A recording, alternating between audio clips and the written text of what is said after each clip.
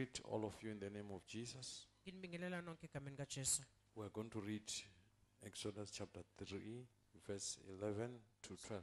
sizofunda u-exoda 3 ivesi ka-11 kuya ku-12 and moses said unto god who am i that i should go? Who go am I is the theme of this evening. ingqikithi namhlanje kusihlwa le ngingubani Who mina am I? ngingubani mina that i should go unto pharaoh and that i should bring forth the children of israel out of egypt and he said certainly i will be with thee and this shall be a token unto thee that i have sent thee when thou hast brought forth the people out of egypt ye shall serve god upon this mountain Certainly I'll be with thee. Please go back to the same verse 11. And Moses said unto God, Who am I that I should go unto Pharaoh, and that I should bring forth the children of Israel out of Egypt? Now, what Moses is saying, Lente Moses ayishoyo he is expressing his understanding. uchaza naye ukuqonda kwakhe. God had given him an office. uNkulunkulu besemnikeza ihhovisi elithile. The same way I told you that the word of God has got an office. Ngendlela efanayo ukuthi izwi kaNkulunkulu nalo Human beings also have got offices. Nabantu nabo banawo amahhovisi. The office of representing God, Ihhovisi lokumela uNkulunkulu, representing God and the kingdom. ukumela uNkulunkulu kanye nombuso. Who am I Ngingubani to represent you ukuthi bengamela and your kingdom kanye nombuso wakho in the plan of the things of God? lwezinto zikaNkulunkulu. This is the question that most of you are going to ask. iningi lenu yiwona mbuzo enizozibuza You are all going to be promoted nonke nizokhushulwa and officiated into the new office of power. nifakwe ehhovisi lamandla The very little things that you think you are doing. nicabanga ukuthi Some of you think your graphs are going down, iningi lenu nicabanga ukuthi but you have been officiated kodwa nina senifakiwe to hold one of the most special office. ukuthi ningene phakathi kwamahhovisi The image of that office, umfanekiso it's of another class ukwelinye izinga in this society. mphakathi. To a point where most of you are going to ask, ukufika esigabeni sokuthi iningi lenu Who bazobuza am I, Lord, ukuthi bengingubani to mina? inherit this much? ukuthi bengingazuza lonke The lelifa blood of Jesus Christ igazi likajesu has kristu begun a new ancestry in life. seliqale indabuko entsha It has empilweni. begun a new genealogy. liqale uhlelo uzalo From olusha. where kusuka the kuphi legacy of your office kulobuhle bale ihhovisi lakho. it's founded. busekeliwe. It's like when a father and a son, kufana nobaba or a nendodana father and a daughter, noma ubaba nendodakazi. they leave an inheritance in a document. bashiya ifa e- The day when it's handed over to you uma selinikezwa kuwena. to officiate, to take over the throne of your father, ukuthi uthathe indawo kababa wakho. Then you ask your father, Who am I? bese ubuza ubaba ukuthi It is the tradition of human beings to be surprised. Kuyisiko ke lomuntu ukuthi amangale. When they are given portfolios which are above their minds. babezonikezwa It is the tradition of all the saints. Kulisiko futhi labo bonke abangcwele. For them to begin to doubt themselves when they are appointed. bayingabazi uma sebekhethiwe In John chapter 1, ujohane wokuqala verse 46, ivesi ka-46 there was a discussion between Philip. bekhona ingxoxo phakathi You kwafilipi can read it. Angeke We'll siye start two ku-46. verses before so that you get the background. sizoqala-ke ku-44 You will see it is a tradition of all uzobona ukuthi Christians kulisiko la wonke to doubt their birthrights, ukuthi bangabazi i- to i- doubt ifa their inheritance. bangabazi ifa labo now philip was of bethsaida the city of andrew and peter philip findeth nathanael and saith unto him we have found him of whom moses in the law and the prophets did write jesus of nazareth the son of joseph. And nathanael said unto him can there anything good come out of nazareth philip Can said unto him anything good come out of Nazareth? kukhona yini okuhle okungavela enazaretha Moses says, Who am I, Lord? umose uthi bengingubani mina To can be your representative in this kingdom. ukuthi bengamela wena kulo Who mbuso am I, Lord? bengingubani mina To can represent you, God the Father. ukuthi bengamela wena To go njengobaba and move ukuthi ngihambe ngosusa the people that are in captivity in abantu kwa-israyeli. To take them to Canaan ngibayise from Egypt. ngibasuse egibhithe If you are of the ancestry uma ngabe ungowendabuko of Jesus' blood, legazi if you are born of the lineage of Jesus Christ, uma ngabe uzelwe ngokozalo you don't need to ask, Who akudingeki am ukuthi ngibe ubani wena. You need to fellowship with your office that you have been given. uhlanganyele nale lakho Most of you will miss an opportunity. iningi lenu nophuthelwa You are all praying fire every day. nikhule kumlilo nsuku zonke I'm here to tell you the truth. ngila uzonitshela iqiniso You will all be appointed to represent God the Father, the Son, and the Holy Ghost nonke in this nizokhethwa world. ukuthi nimele unkulunkulu baba You indodana will nomoya be kulo appointed mhlaba to represent the kingdom of fire nonke nizokhethwa ukuthi nimele umbuso because womlilo you are in the lineage and genealogy of Jesus' blood. ngoba nisezalweni The fountain of kristu fire planted here. umthombo womlilo otshalwe la When you receive uma namukela your portfolio, i- I'm here yenu to advise you go straight into that office niye kulelo hovisi which you have been officiated to assume. esenitsheliwe ukuthi niqale It's your inheritance. That inheritance, I want to begin to tell you why. ngifuna ukuqala ukukutshela God will give you a title, He will give you a name. The uprightness of that name, loku bukhulu balelo the honor of that name will be so much for you. You're going to ask, What can come out of me and this family? You are going to ask. Let me tell you that name, ithi ukuthi lelo the gama title that God is going to give you. leso sihloko unkulunkulu You need to sona play your part. kufanele nawe wenze umsebenzi God wakho. has played your part. unkulunkulu naye sewenzile The wakhe. image umfanekiso. of what God is busy building in you yaloko unkulunkulu akwakhayo kuwena. is of a worth, kufanelekile it's of a prestige. kufanelekile Each one of you is going to doubt God. nonke ngamunye you are going to ask God, Are you talking about me? nizombuza ukuthi ukhuluma I am only a Moses, a shepherd. mina ngingumose nje kuphela I'm looking after Jethro's goats ngibheke nje and izimvu cattle. zikajethro And ney'nkomo that's all I know. yiloko kuphela I come from a family ngivele emndenini that has no prestige, that has got no destiny. I come from a class of a family that commands no money. Jesus Christ is about to lift up somebody into a promotion after the ancestry of Jesus' blood. because you connect to his power, you connect to his blood. I'm here to give you courage. Yes, God has appointed you to become somebody new.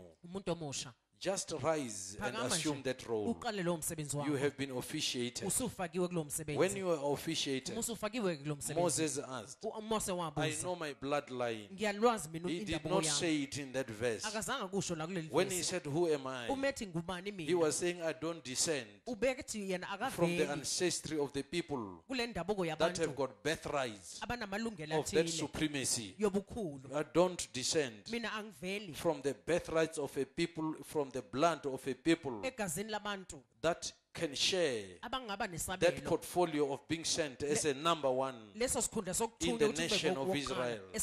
by the same authority by which God appointed him ngalelo gunya unkulunkulu when he gave him that power. uma emnikeza lawo It is the same authority you have even tonight. yilo lelo gunya onalo God is going to give you a great and a worth in the society, which most of you are going to rate yourself lower than what you are. nizozikala nizibekele phansi It's already here, I know, he told me. I did not choose that verse. angizange ngilikhethele la vesi I did not choose it. angizange Those two verses. lawo mavesi He amabili said, Go call them. uthi hamba babiza That they must not measure themselves ukuthi babangayikandi by what they descend, the blood, ngalezi zinto and the abavela kuzona dishonor from where they come from. nalokungahlonipheki They must not measure themselves futhi by the destiny nangalendlela which their families command imindeni yabo in evela this khona present life. You samanje must measure nikale your cloud Where you are. by the cloud of the genealogy of the descent from the blood of Jesus, the fountain of fire. oluvela kujesu kristu umthombo And that very fountain of Jesus' blood, kanye lewo mthombo lwegazi it is conditioned never to lose the power. It is conditioned by fire, never to lose. Its position of being number one saver in this world. ukuthi ube ngumsindisi wokuqala I'm here to give you the courage. Do not measure your destiny by the reputation of your parents. Ngalo nto ebizwa and by the class of your social status. Nangezinga lo- lakho from where you come from and from where you work.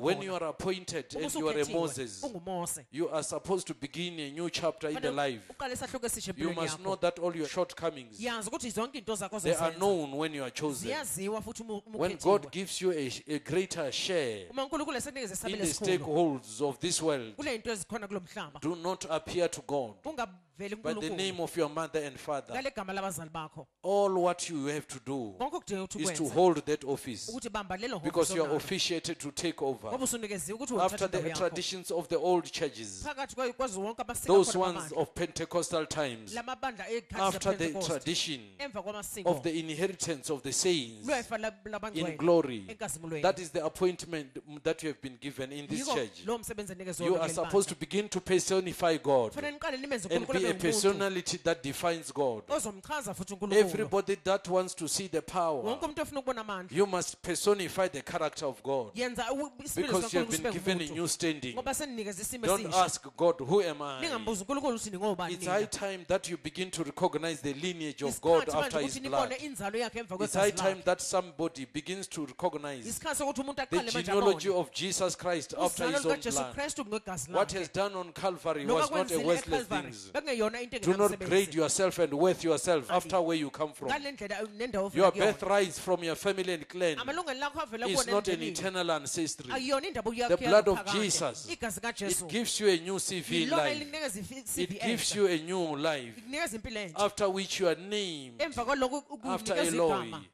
This is the only name, Eloi.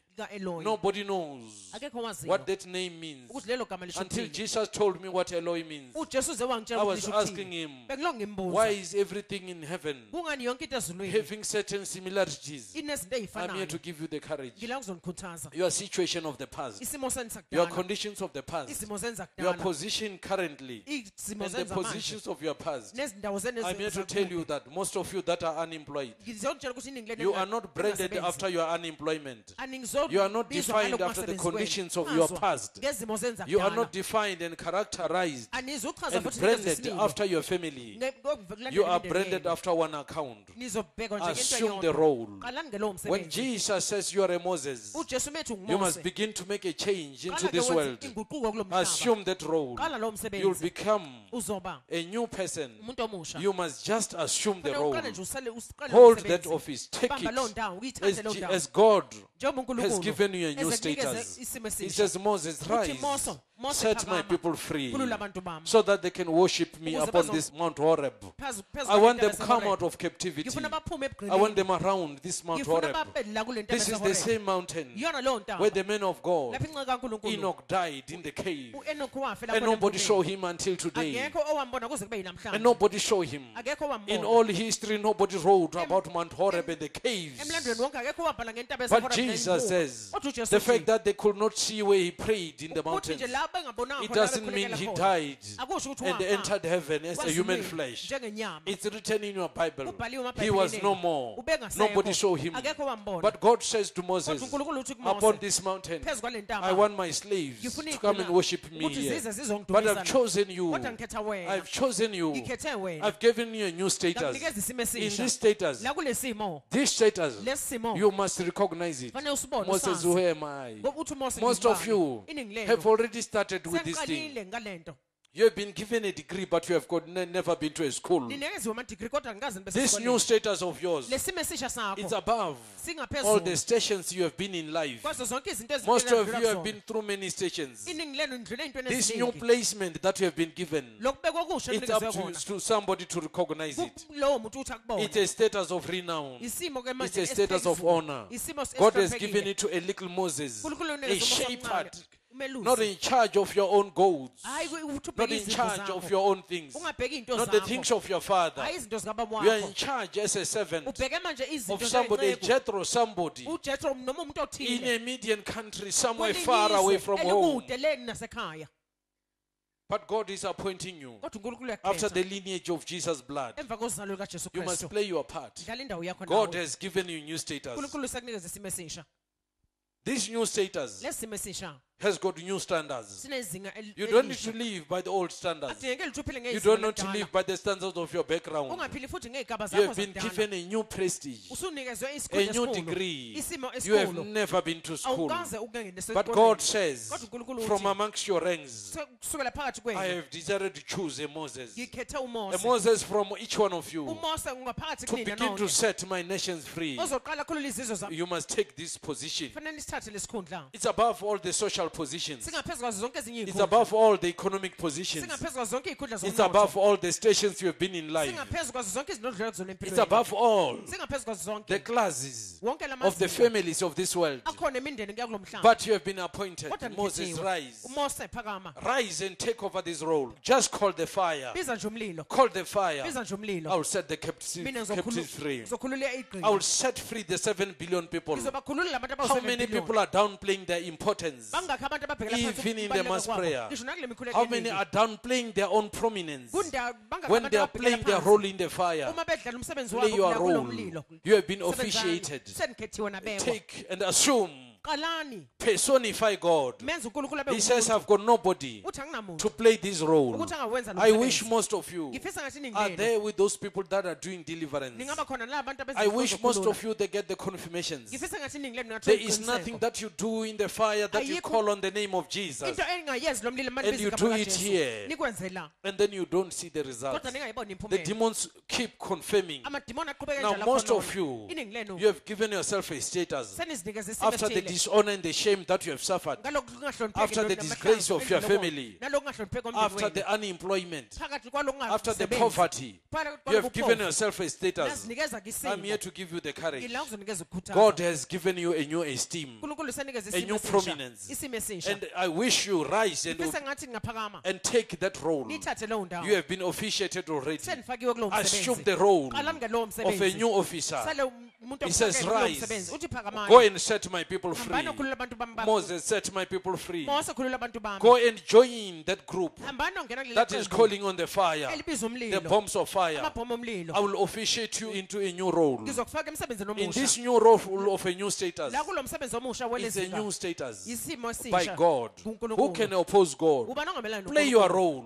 I'm here to give you a courage.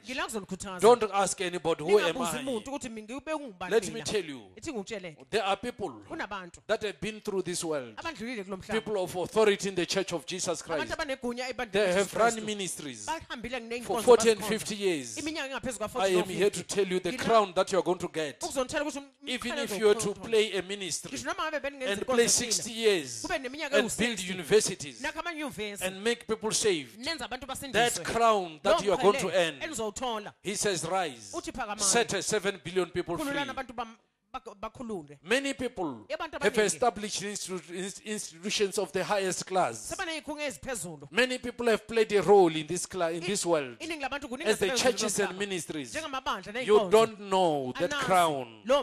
If you play your role, uma uzowenza umsebenzi just rise, phakama nje wena. Assume the, the role, hold that office. You have been officiated by the Father. To inherit, to inherit a crown of fire. Lowo mqhele womlilo. Just by setting other people free. nje ukhulula abanye abantu. Don't be selfish. And pray for your own family. It is high time. You understand why ukuthi uzoqonda kungani. God did this thing. He brought this grace here Ulethe lo musa la. so that you can set them free. Why? Because God has assembled his interests, unkulunkulu usebeke konke all his interests. Konke ukubheka kwakhe nokunaka kwakhe. Of the freedom of this world yenkululeko yalo mhlaba upon this grace. You represent the interests of God. nimele lokho kunaka kankulunkulu. Many people are proud in this world la kulo mhlaba. because they are valued by their net worth. baziwa ngobukhulu babo. They've got names. They represent their net worth in this, their financial status in this world. lobukhulu babo bezezimali kula kulo Many mhlaba people iningi labantu are proud.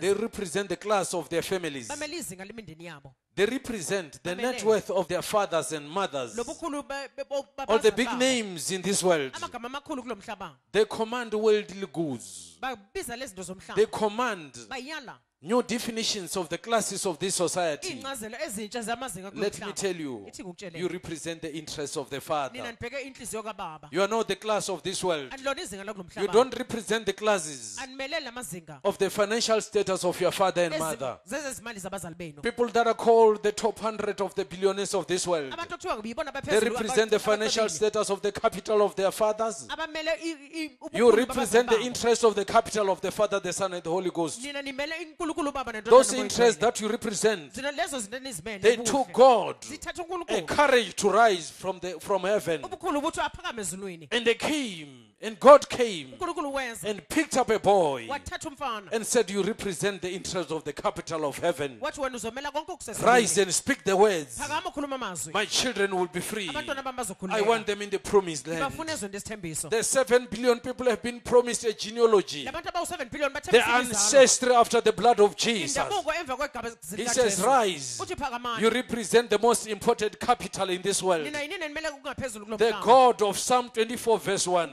Unkulunkulu wamahubo 24 He owns heaven and earth. uyena umnikazi wezulu That is the capital of the interest that you represent. yibona bukhulu enimeleke lokho. Rise and officiate. Phakamani ke nisebenze. Because you represent the capital, the totality of all the wealth of this world. phelela kwengcebo yonke You represent the capital, the true capital.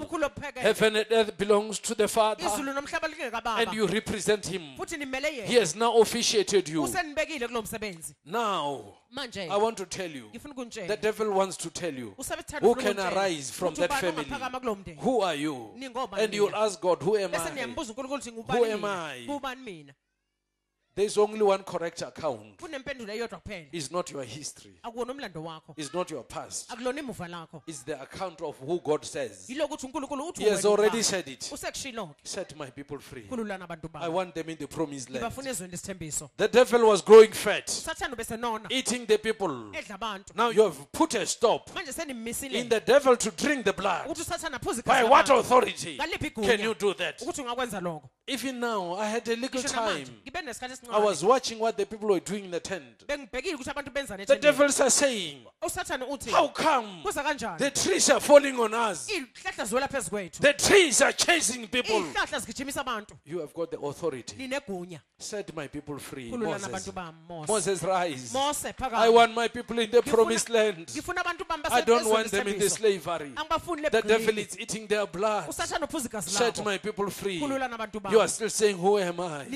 What can come mina? out of Nazareth? God has given you a status and the ilisimo prestige of a Moses to say, Cry the fire. Call the fire. Because the crown has already been made. Many people have been 20 years into the ministry. iningi labantu base- I have seen that crown. Nobody can get it by a ministry. akekho ongawuthola ngenkonzo But when you cry, kodwa uma ukhala the fire in the name Eloi, you are all connected to this name nonke kuxhumene kule by the blood of Jesus. He says, Moses, Moses, rise. I know you are going to ask me this stupid question. Who am I? Lord, who am I? Many of you have asked yourself that question. senizibuzile lo mbuzo Jesus even told me they're even doubting. Whatever you say, most of them are doubting. uma uthi iningi labo Who am I? bayangabaza uthi ngingubani mina The crown has been set already. The royal diadems on that crown has been set. ubukhulu balowo mqhele You must just rise nina phakamani nje and accept your portfolio. The fact that you, the positions of the past, ukuthi nina iy'gaba zenu your unemployment were showing no prospect. You looked everywhere, there's no prospect for you to be employed. ukuthi ayikho indlela You looked everywhere, there's no prospect for you wabheka yonke indawo ukuthi ayikho to have a marriage and a decent life. nomshado nempilo enhle There's no prospect for you to have a business. kuwena ukuthi ungaba nalo ibhizinisi God has given you a new description. He has given a new definition. He says, You are a Moses. I know you're in the bush. I know you are lonely. There's no one to talk to around you. You are still saying, Who am I? usathi wena ngingubani You have been appointed by God the Father, the owner of heaven and earth. He says, Even silver and gold "Uthi I in their totality. You represent his interest here on earth. He says, "Rise up. Speak the fire, speak the power, speak the blood. Khulumani You are in the fountain. You are footed on the fountain of blood, La kulo mthombo on the fountain of fire. Kulo mthombo womlilo. You are still asking, Who am I, Father? uthi ngingubani baba Play your part. yenza umsebenzi wakho Play your part. yenza umsebenzi wakho nawo God has played his part. He has officiated you. He has given you the inheritance wakunikeza le lifa of the sweeping fire, the burning fire. No devil can stand this fire. akunasathane ongawumela lo And it has been placed here. Why? He said, Set my people uthi free. I want them in the promised land, not in the slavery. You are built after lineage of the blood of the power, the destiny of your, your, your clan, the destiny of your parents. They don't define your destiny under this appointment. phansi kwalo khetho They don't define. Moses mose was talking to God we- mose wayekhuluma in terms of the destiny, in terms of the outlook, in terms of the precedence. He looked in the past. There is no precedence in that family that he could rate. There is no reputation that could tell him from your ancestry Moses, kuvela le ndabuko yakho Mose. somebody greater has been there. You have read the history. It is not about your history. akubonanga umlando wakho It is not about your past. akubonanga emuva lakho It is about the importance of the one that has appointed you. Kwalona okukhethile wakubeka It is as a consequence kufana nesimo of the appointment saloku umsebenzi onikwa of the wona parentage, the one that parented you. lo okwenze waba You were born in the spirit. uzelwe ngokamoya Your parent is the spirit. nawe um- umzali Your wakho parent is the ngokamoya. most high God. umzali wakho unkulunkulu That is the ophezulu. parentage nawe kumzali of the wakho inheritance. walelo lifa You are not parented by the human beings. awuyena umzali wakho akuyena umuntu nje Why can't you trust this parenting? kungani ungamtha- ungamethembi lo mzali He's the one that says, uyena Rise othi phakama and call the fire. biza umlilo I will set my people free. ngizobakhulula I want them in the promised ngibafuna land. ezweni lesithembiso In the new land, ezweni elisha it's a person of a parentage. u- ulo uzalo You, are, you personify him niyamenza abe ngumuntu because you are after the parent. ngoba nifuna lo mzali He is spirit, he is fire. ungumlilo 1229 says, njalo u-1229 Our uthi God, unkulunkulu He wethu is a consuming fire. ungumlilo oqothulayo The parent lo mzali is what matters. yiloko okunendaba It is the parentage. yilobo buzali It is not your own superiority. akukona ubukhulu bakho It is not your own prestige. akukona futhi ukuzazi It is kwakho not your own honor. akukona futhi The ukuhlonipheka kwakho parentage is what matters. lo zalo yilona The estate and the interest that you represent, loko nikumele nina it's another father. Ngomunye ubaba He owns everything. umnikazi wayo Heaven and earth are his. izulu nomhlaba kungokwakhe Silver and gold are his. isiliva negolide kungokwakhe You hold his interest. nina nibheke lokho kuthanda- kuthandwa wuye It is the parentage that matters. yilo zalo lwakhe The prestige lobukhulu of the one that appoints you. Who am I? okuyiyena onikhethayo ningubani-ke mina You are not worthy. awufanelekile You are only worthy ufaneleka after kuphela the parentage of the one that appoints you. ngalo zalo lolo okukhombayo You were low grades. Ningaphansi kwezinga. You were graded low by the people of this society. nibekwa phansi ngabantu bakulo mphakathi But there's another parent kodwa kunomunye umzali